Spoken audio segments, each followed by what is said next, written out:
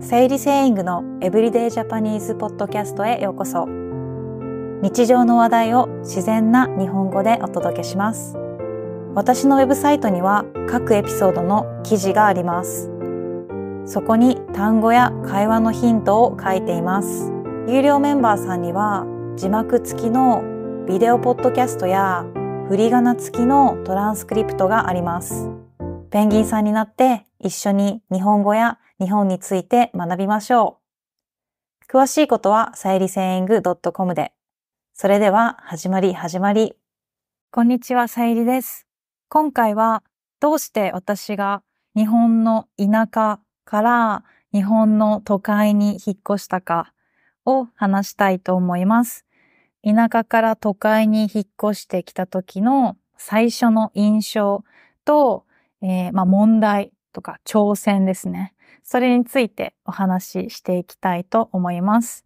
まあ、これは個人的な、まあ、意見なんですけど、まあ、日本の田舎に住もうかな、もしくは都会に住もうかな、とか、えー、思っている人にも役立つエピソードになるかなと思います。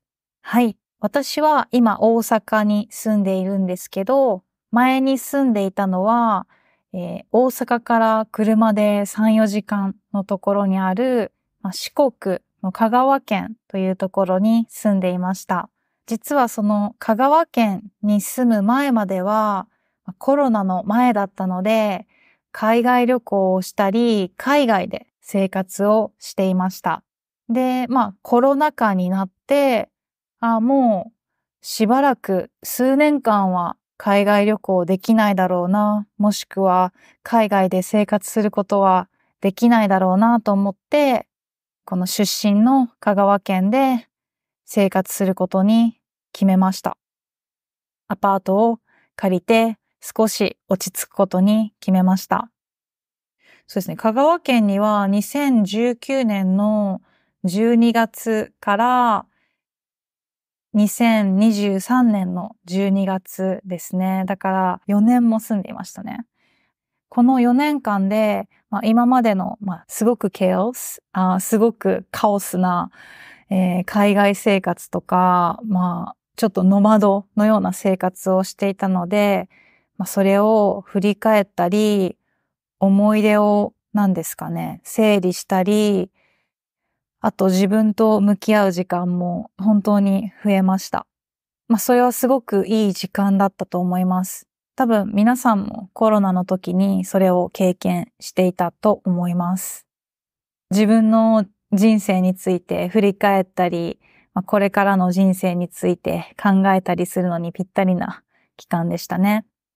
コロナをきっかけに日本語を勉強し始めたという人も多いと思います。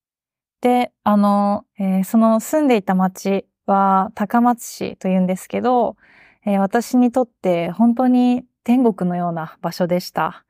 えー、なぜかというと、自分のアパートからは、まあ、海が見えるし、その海の近くに島があって、山があって、で、天気はいつも晴れていて、で、波の音が聞こえるんですね。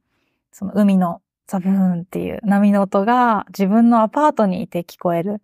すごくいい環境でした。そして、まあ、家賃、あの、アパートの家賃もすごく安かったですね。で、食べ物も美味しいです。私は海の近くに住んでいたので、えっと、平地の部分が多かったんですね。平地というのはフラットの部分ですね。だから自転車でどこにでも行けるし、まあ、美味しいお店もたくさんあるし、島にもすぐに遊びに行けるし、いい友達もいて、家族も近くに住んでいて、本当に最高でした。うん、まあそんな生活が4年も続いたんですよ。そういう穏やかで平和な生活が4年ぐらい続きました。このエピソードを聞いている人は、まあ、じゃあなんか、引っ越す必要なんてなかったんじゃない？とか、そんなに 天国みたいな場所なら、そこにずっと住めばいいじゃんって思った人もいると思います。ま、そうですね、客観的な意見第三者からの意見を言うとすると、私は香川県に住んでいた方がいいんじゃないかなと、まあ自分でも思います。うん、自分のライフスタイルにすごく合っていると思います。でも、やっぱり、ないものねだりですね。ないものねだりというのは自分が持っていないものを欲しくなるということです。はい。で、まあ4年間住んでいる中で、あの国内旅行、日本の中で旅行はしていたんですね。まあ、いろんな場所、まあでも主に私は田舎が好きなので、まあ田舎をよく旅行していました。で、たまたま偶然大阪に旅行に来ることがあったんです。で、その時に、その大阪のエネルギーに恋をしてしまいました。そう、街に恋をしてしまったんですね。で、うん、あんまり、そう、頭で考えると、大阪に住むのは、自分にとって自分の幸福度、自分のハピネスレベルですね、を、まあ下げるんじゃないかなっていうのは、うん、分かっていました。うん。でもやっぱり私が住んでいた街には、そのエネルギー、元気な若い、うん、活発なエネルギーっていうのが正直ないんですね。まあ本当に落ち着いていて、ゆっくり、まあ、スローライフを過ごすのにぴったりな場所です。で、実は私は、あの、昔東京に住んでいたことがあるんです。でもそれはもうかなり昔のことなので、あの、都会の生活は覚えてはいるんですけど、多分若い時にそれを経験するのと、まあ今、まあ大人になって、えー、十分年をとって あの、経験するのとは、えー、違うかなと思ったので、もう一度都会に住んで、えー、みたいなと思って大阪に引っ越すことにしました。今までとは違う環境に身を置いて生活してみたいと思うようになりました。それがもっと自分の人生を豊かにして、いろんな人と出会って、まあ今こうやって作ってるコンテンツも、まあちょっと違った、えー、角度で、えー、物事を見て、えー、面白いものを提供できたらなと思ったので、はい、決意しました。はい、引っ越すと決めたらもうワクワクでしたね。いろんな楽しいことを期待して引っ越そうと思いました。まずどんなことを都会の生活に期待していたかというと、一つ目は気の合う仲間や若い人たちとの交流ですね。はい。まあ、田舎には若い人たちは少ないし、あの、気の合う友達はいたんですけど、まあ、大阪は人口が多いですから、もっとたくさんの人とつながることができると期待していました。えっと、二つ目は、私は大阪がある関西地方には住んだことがなかったので、生活をしながら旅行をしているような新鮮な気分が味わえるかなと思って、それも期待していました。三つ目は、大阪には大きな国際空港もありますし、新幹線もあるので、まあ、国内旅行とか海外旅行もすぐに自分が思った時に行けるのがいいなと思っていました。はい。でも逆に、その期待もあるけど、やっぱり、まあ、田舎から都会に引っ越すには不安もありました。うん。まず一つ目は、仲のいい友達がいない。まあ、当たり前なんですけど、新しい街なので、まあ、今までの人間関係を、まあ、一旦お休みして、新しい人間関係を作らなければいけません。だから、うん、仲のいい友達がいないのはすごく不安でした。うん、で、しかも皆さんも感じているかもしれないんですけど、大人になってからの友達作りって結構難しいですよね。だから、まあそれがどうなるんだろうって、はい。あの、期待もありながらも、あの、不安でした。で、えっと、二つ目。これも先ほど言った裏返し。関西のことを全然知らないっていう裏返しなんですけど、あの、土地勘がない。土地勘がないっていうのは、まあ、どの町がどんな雰囲気とか、どんな、うん、ものがあるとか、どんなお店があるとか、まあそういうのを全然知らない。土地勘がないので、まあちょっと不安でしたね。うん。はい。で、三つ目は、えー、田舎と比べて都会は物価が高い。はあ、かなと思って、それが不安でした。最後に不安だったのは、まあ、大阪は、まあ、日本の中でも特に独特の文化があると言われています。あの、うん、人はとてもフレンドリーなんですけど、ちょっと悪く言うと、まあ、おせっかいだったり、うるさいっていう風な表現をされることもあります。そういう文化に馴染めるかどうかというのも不安でした。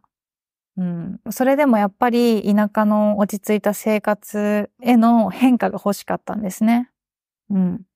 やっぱり人生一度きりだし、まあね、その場所にずっと住んでもいいんですけど、まあ都会でもう一度暮らしてみたいという、えー、思いがあったので、はい、引っ越してきました。あと、この香川県で築いた人間関係、まあ、4年間で、まあ、知り合った人とかとの関係はかなり、えっと、深いものになったと思うので、まあ、簡単に壊れるものじゃないと思っています。